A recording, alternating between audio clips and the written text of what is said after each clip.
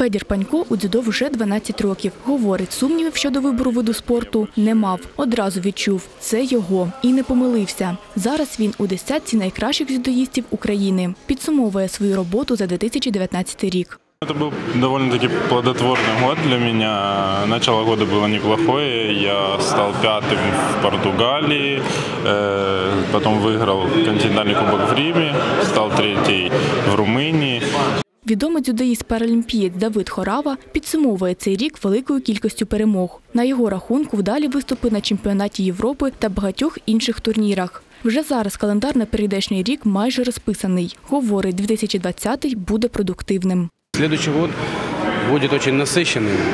Уже с января месяца начинаются сборы.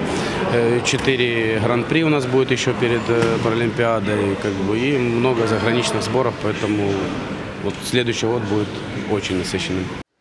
Віце-президент Федерації дзюдо Михайло Кошляк теж на татамі цього дня. Розповідає, у спортсменів вихідних немає. Новорічні канікули почнуться 31 грудня і за декілька днів дзюдоїсти знову стануть до тренувань. Цим роком задоволений. Далі більше. Для спортсмена каждый год сложный год.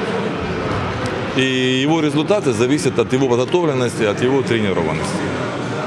Я считаю, что наши мальчишки и девчонки очень хорошо поработали и завоевали достойные награды для своего государства и для своего города.